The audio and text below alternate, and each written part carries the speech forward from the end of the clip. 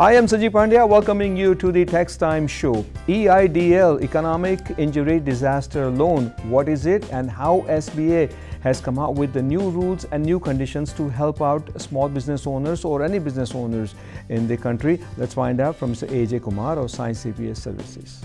In this episode, we'll talk about EIDL program. Every business under 500 employees qualify for EIDL. You have no tax return. You just started the business. You have no financial. You still qualifies. For more information, please watch Tax Time only on TV Asia.